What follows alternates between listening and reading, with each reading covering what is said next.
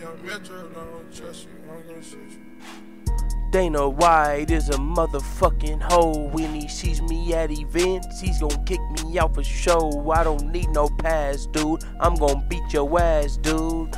I don't think he likes me cause I keep them fast scoops and I keep that fast news. Get that shit before Dana.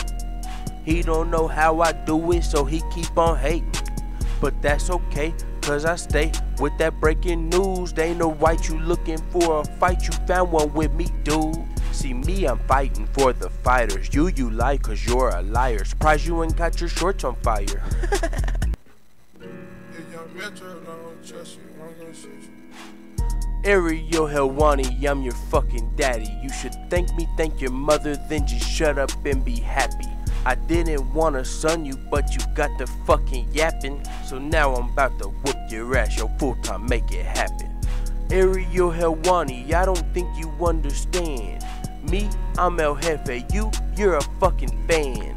When I get done beating your ass, I'm taking your media pass. You'll have to see me to get it back, and then I'm beating your ass again, my friend. Or should I say your nose got a new name for you, dude? Ariel Pinocchio.